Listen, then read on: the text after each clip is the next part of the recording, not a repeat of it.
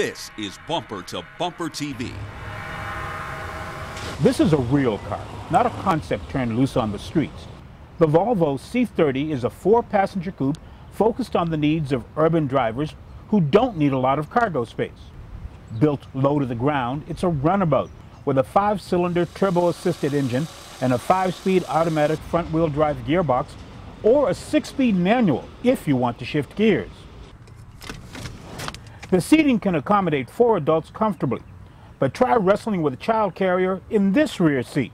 In the back, it has enough space to get some groceries or a small piece of luggage back there, but not much more.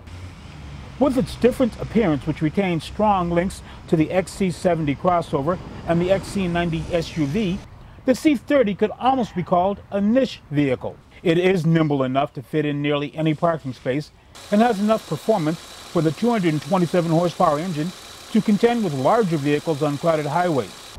It is a unique kind of car for the brand.